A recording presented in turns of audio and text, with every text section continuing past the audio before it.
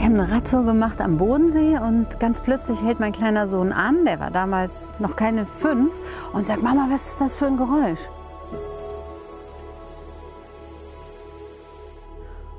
Und es war eine Heuschrecke. Und ich habe überhaupt nicht die Frage verstanden, bis ich gemerkt habe, dieser Junge war fast fünf Jahre lang ganz, ganz viel draußen und hat noch nie eine Heuschrecke zirpen gehört. Wie kann das sein? Und das war der Moment, in dem ich verstanden habe, dass hier was richtig zusammenbricht, dass wir eine ganz andere Umwelt haben als die, die die etwas Älteren früher als Kinder noch erlebt haben, dass die Vielfalt schon weg ist.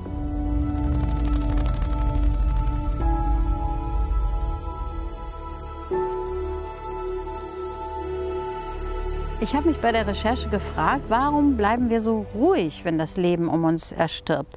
Und die Antwort der Wissenschaft ist, jede Generation empfindet das als normal, was sie eben so erlebt, wenn sie groß wird. Und deshalb haben wir uns an diese Verarmung von biologischer Vielfalt schon völlig gewöhnt. Unsere Landschaft hier, die Kulturlandschaft in Mitteleuropa, die sah noch vor 200 Jahren vollkommen anders aus. Die war angefüllt mit bunten Vögeln, Tieren, Schmetterlingen, mit einer Vielfalt, die wir längst schon vergessen haben.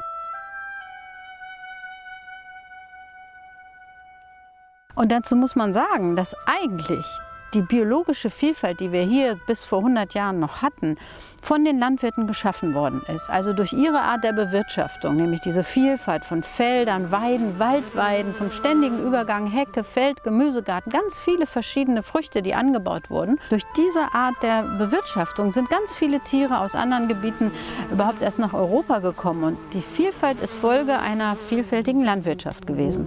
Heute haben wir eigentlich einen, ein Agrarsystem, was die Landwirte zur Monokultur zwingt. Weizen, Mais, ähm, und natürlich Bauland, Flächenversiegelung. Und diese Art, wie wir mit dem Boden umgehen, die tötet eben die Vielfalt des Lebens.